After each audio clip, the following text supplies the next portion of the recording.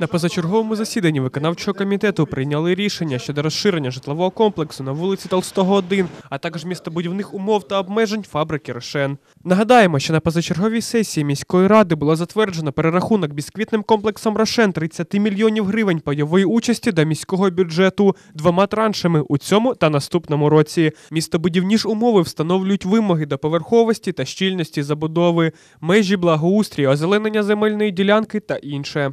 Потужність виробничого складського комплексу до 20 тисяч тонн на місяць. Загальна виробнича площа складського комплексу до 100 тисяч метрів квадратних. Комплекс споруд по прийманню, переробці та зберіганню зерна, в тому числі млин 600 тонн на добу, елеватор 30 тисяч тонн і кількість працюючих 1212 чоловік. Це проведення повністю комплексу в експлуатацію. Одне із спірних питань у будівництві фабрики її водозабезпечення. Для міста є важливим, щоб водозабезпеченням цього промислового об'єкту хоча б частково займалося комунальне підприємство Бориспільводоканал, оскільки, враховуючи борг Світовому банку в 70 мільйонів гривень, клієнт такого масштабу є для них мало нерятівним. Якщо повернутися до радянських часів, то Бориспільводоканал подавав біля 10 тисяч метрів кубічних води на добу, коли працювало у нас виробництво працювало. На сьогоднішній день разом з аеропортом до нас на очисні споруди скидається біля 7,8 тисячі метрів кубічних е, скидів на добу. Тобто скільки десь приблизно беремо води разом з аеропортом.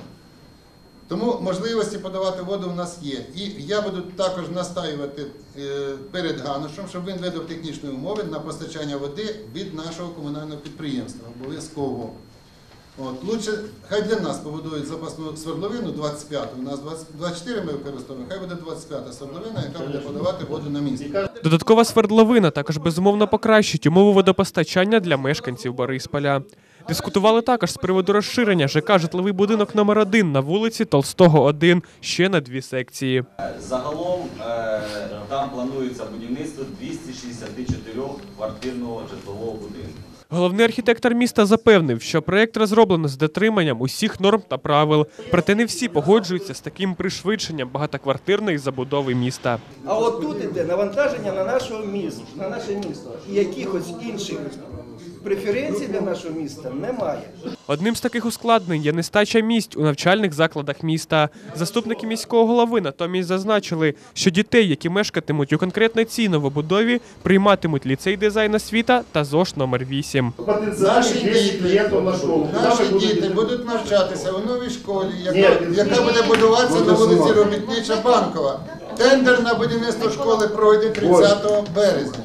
Уже на сьогоднішній день є. 6 учасників. За рахунок ліцею дизайну освіта і восьмої школи. Сьогодні ці два навчальні заклади не заповнені повністю по проектній потужності. З другої спроби члени виконавчого комітету необхідною кількістю голосів все ж затвердили додаткові секції у цій новобудові. Володимир Косинський, Віталій Назаркевич. Новини телеканал Бориспіль.